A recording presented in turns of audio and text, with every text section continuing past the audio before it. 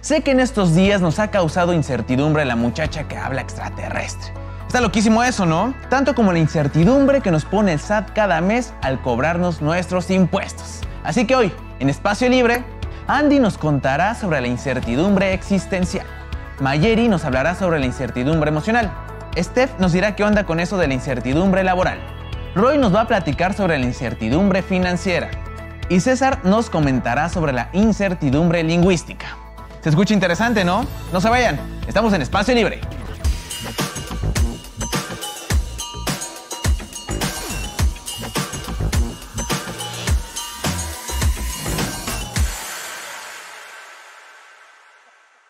Incertidumbre laboral. ¿Te pasó? ¿Te está pasando? Estoy segura que sí. Y es que yo creo que es como en el amor. De esto nadie se salva. Un día estás en la uni y de repente no puedes dejar de pensar qué sigue después. ¿En dónde puedo trabajar? No tengo experiencia, siento que no estoy lista o listo para desempeñar mi carrera. Incluso puedes dudar de tus propios conocimientos. ya sé, me pasó. Estando en la uni puede que se te olvide y solo dejes correr los días hasta que llegue el momento más esperado, pero el de verdadera duda, la graduación. Ese momento donde todos pensaron que no llegarías, incluso ni tú, pero estando ahí, feliz con tu familia reunida y siendo el ejemplo de muchos, subiendo fotos a redes sociales y aventando el birrete, no sabes que también ese momento tan importante de tu vida viene acompañado de música dramática, por favor, incertidumbre laboral. Y aunque algunos ya pueden tener un futuro asegurado, no todo es tan fácil como parece. Y surgen preguntas diferentes como ¿y si no puedo? ¿Y si no lo hago bien? ¿Y si no me sale? ¿Y si no sé y quedo en ridículo? Estas dos palabras y 20 letras son un perfecto agobio como para que te dé el bajón en fin de semana. Sin contar la presión que vas teniendo encima cada día y estas charlas incómodas de tus papás preocupados de que no consigues lo esperado, o te encuentras estancado, o vas fallando en tus actividades de trabajo, o en el intento. Y no quiero pensar cómo la pasaron ustedes en pandemia, ¿eh? Si es que esa incertidumbre aún estaba con ustedes.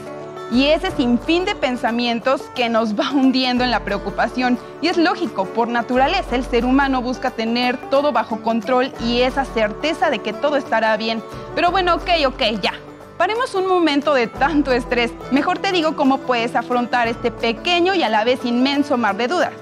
Separa las cosas que nos preocupan, aquellas que podemos controlar de las que no podemos controlar, es decir, aquello que está en nuestro campo de acción inmediata, como lo que pienso, lo que hago y de otras cosas que no dependan de mí, como lo que piensan otras personas, lo que hacen con el tiempo, etc.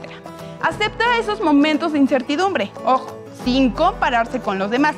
Es lógico tener miedo y estar preocupados, pero es importante ver que podemos sacar de todo esto. Otra, ser flexible es tener la mente abierta y estar en constante formación te ayudará a liberarte de sentir que no eres capaz. Último punto y muy importante, comunica al mundo que estás en búsqueda de empleo. Sean proactivos, motívense, lo que sea que quieran para ustedes, no quiten el dedo del renglón. Se van a sorprender de todo lo que pueden lograr en tan poco. Sean pacientes y denle con todo. Después ustedes son los que se van a reír de la incertidumbre laboral. Amigos, yo recuerdo cuando estaba en el bachiller y estaba a punto de entrar a la universidad y decirme, ¿qué va a ser de mi vida? ¿A qué me voy a dedicar? Creo que todo el mundo ha pasado sobre esto, ¿no? Veamos. Algo que se suele repetir mucho en nuestra vida es eh, la indecisión ante alternativas en un momento determinado. Indecisión a la hora de elegir si cambio o no cambio de trabajo, indecisión a la hora de saber si cambio o no cambio de residencia, de pareja, etc. Para esos momentos, tener la verdad absoluta por delante es casi imposible. Lo que sí podemos hacer es plantearnos cuestiones que nos hagan realmente tomar una decisión con determinación. Te invitaría a que si has vivido o vas a vivir estos momentos o alguien cercano a ti te lo plantea, le preguntes lo siguiente de qué sabes que te arrepentirías si no tomas esa decisión. El español fue dado a mi pueblo al final de una espada, introducido a fuerza en nuestras gargantas, afilado bajo la vigilancia constante de los colonizadores. Lo anterior es un fragmento de un poema de Ariana Brown, poeta chicana de Estados Unidos, donde ella, hablante del inglés, nos cuenta sobre la lengua de sus padres, el español. Sin embargo, también pone en discusión cómo llegó esta lengua a nuestro continente. En la lingüística existe un término llamado diglosia. Es un fenómeno de la lengua que surge cuando en una comunidad existen dos variantes de una misma lengua una de las cuales es considerada más prestigiosa o con mayor aceptación, mientras que la otra variante será mal vista y sus usuarios estigmatizados como ignorantes o poco valiosos. Un ejemplo es cuando alguien se siente mal por decir aiga o ansina en lugares académicos o de ambiente fifi. Yo puedo hacerlo, pero porque soy una anarca prófuga de la academia a quien le gusta incomodar esos ambientes. Sin embargo, hay gente que no tiene ese privilegio. Otro ejemplo de diglosia puede ser en comunidades bilingües, donde se hablen dos o más lenguas, como suceden en barrios de Estados Unidos o Francia, donde la lengua con mayor prestigio será el inglés o el francés, y las otras pasarán a considerarse menos por la población. Pero para no irnos tan lejos, este ejemplo ha pasado y sigue pasando en nuestro país. Muchos hablantes de náhuatl, otomí, totonaco, ayuk y varias otras lenguas indígenas en México deben enfrentarse a la diglosia por bilingüismo cuando, por la migración de sus comunidades de origen, deben llegar a las grandes ciudades buscando mejores condiciones de vida. Es en ese momento cuando se enfrentan a la diglosia por bilingüismo, que, seamos sinceros, solo es otro nombre técnico y académico para el racismo y discriminación, por hablar una lengua que no tiene el supuesto prestigio del español. La lógica colonial del conquistado y el conquistador, que sobrevive en un México racista como el nuestro, nos dice que aquellos que hablan una lengua indígena son ciudadanos de segunda categoría. Y si no se pelea contra esta idea, es fácil que las lenguas se pierdan y con ellas una visión del mundo e incluso un mundo específico que los hablantes ven cuando se comunican. Yo soy prueba de esto. Del lado materno soy la segunda generación que no habla náhuatl y del lado paterno soy la primera. Reconozco la lengua, sé de dónde vengo, comprendo algunas palabras, frases, algunas veces incluso oraciones, pero no logro hablarla. Hubo un componente de racismo disfrazado o llamado por la Academia Diglosia que lo permitió, pero que ahora, desde lugares como este, intento combatir. ¿Qué diferencia hay entre lengua y dialecto? Sinceramente es bastante distinto y bastante raro distinguirlos, ¿no? Veamos. Todas se llaman lenguas, porque la igualdad de las lenguas comienza desde el nombre. Son lenguas o son idiomas, los idiomas de los pueblos indígenas de este continente. No son dialectos. Un dialecto solo es una variedad de una lengua. Para respetar los derechos lingüísticos de las personas, la dignidad comienza desde el nombre. Por eso todas se llaman lenguas. El temor es una de las emociones que pueden aparecer cuando nos enfrentamos a una situación imprevista. Saber que hay cosas que no podemos controlar nos puede atemorizar llenar de dudas. A esta sensación se le conoce como incertidumbre emocional. La incertidumbre es quizá una de las emociones más difíciles de manejar porque todo se tambalea a tu alrededor. Parece que no hay de dónde agarrarse, especialmente en estos tiempos en que nos ha tocado vivir, en que no sabemos cuándo vamos a poder volver a hacer una vida normal y después de una pandemia que afecta a todo el mundo. Nuestra vida está llena de momentos más o menos inciertos, cuando tenemos problemas de salud, cuando tenemos una situación económica, los trabajos son también cada vez más inestables. Además, si piensas con frecuencia en el futuro y te presionas por ello, es muy probable que te enfrentes a una emoción. Para no dejarte dominar por sentimientos que afecten tu bienestar psicológico, es importante que aprendas a manejar tus emociones y a entender que no todo está bajo tu control. La intolerancia a la incertidumbre es parte de la depresión y de la ansiedad. Esto puede deberse a nuestra incapacidad para asumir y aceptar los cambios. Además, juega un papel importante en nuestra tendencia a preocuparnos en exceso. Un prestigioso psicólogo, Ramón Valles, refiere que podemos vivir en tres presentes presente pasado. Estar en el presente dándole vueltas a situaciones pasadas. Presente futuro. Estar en el presente dándole vueltas a lo que va a suceder. Presente presente. Estar aquí y ahora en la situación presente, centrada en lo que podemos hacer el día de hoy. ¿En cuál te encuentras tú? ¿Qué puedes hacer ante la incertidumbre emocional? Actúa. Es la clave. No te quedes esperando a que algo pase o a que tu temor más grande se vuelva realidad. Acepta que hay cosas que no puedes controlar y sigue adelante. Acepta que las cosas son inciertas que la incertidumbre forma parte de nuestra existencia y que no podemos hacer todo bajo nuestro control. Acepta que tienes preocupaciones y miedos. Es totalmente normal. No intentes eliminarlos. Intenta compartirlos con alguien de confianza que sepas que te va a ayudar. Concéntrate en metas y acciones sencillas que sí puedes realizar. Sigue haciendo tus actividades habituales, sobre todo aquellas que te reconfortan para no caer en el hartazgo y la depresión. Confía en tus propias capacidades y recursos. Todo lo que has conseguido hasta ahora te hace ver que siempre te mueves hacia las soluciones y que eres, a pesar de todo, sobreviviente. Recuerda momentos donde has conseguido superar grandes inconvenientes y adversidades. Proyecta ese estado emocional al momento presente, estado de mayor tranquilidad, de confianza en tu capacidad y recursos, y así conseguirás manejar un poco mejor la incertidumbre. Y como diría el maestro Confucio, no importa lo que hagas en la vida, hazlo con todo el corazón. Las emociones, amigos míos. Creo que todo mundo ha pasado esta etapa de conocer a alguien, ilusionarse, a ver qué pasa, qué no pasa, que te manden mensajes, que te dejen visto como mi Andy conmigo. Oh, pobrecito. Déjame tocar una canción triste para ti en el violín más pequeño del mundo. Así que nosotros tenemos un material preparado para todos ustedes. Veamos. Sensaciones cuando no es ahí. Te llena de una incertidumbre constante. Sientes que despierta tus inseguridades. No sientes tranquilidad. A veces te hace sentir que le importas mucho, otras parece que no existes. Sientes que le incomoda que le expreses tus sentimientos. Nunca te termina de dejar claro que siente por ti. No sientes que te hable con sinceridad. Juguemos algo. Levanta los dedos de una mano y baja uno por uno cuando sepas 100% cómo funciona lo que te mencionaré. Pero que realmente conozcas todo. Nada de sí, lo he escuchado o mi tía una vez me contó, nada. 100% experto o experta. ¿Empezamos? Tanda. Tarjeta de crédito. Afore. CETES. Udibonos. Yo nomás bajé una. Espero que hayas tenido más respuestas buenas que yo, pero si bajaste menos de la mitad no te preocupes porque la realidad es que nuestra educación financiera es bien pobre.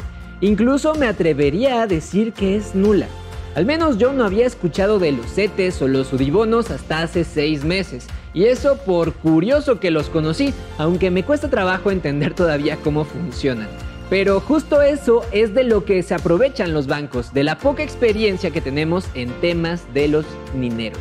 Según la encuesta nacional de inclusión financiera, ENIF 2021, solo el 22.5% de la población de 18 a 70 años lleva un presupuesto o registro de sus ingresos y gastos, es decir, 3 de cada 4 personas gastan pero no anotan en qué. Ganan dinero pero no saben con exactitud en qué se les va. Otro dato alarmante, a solo el 56.6% les sobra dinero a fin de mes. El resto se truena los dedos esperando con ansias la quincena más cercana. Sin duda, la educación financiera es necesaria y por más incierto que sea el futuro con la inflación, si tenemos estos conocimientos básicos y nos ponemos truchas, podremos saber cómo librarla.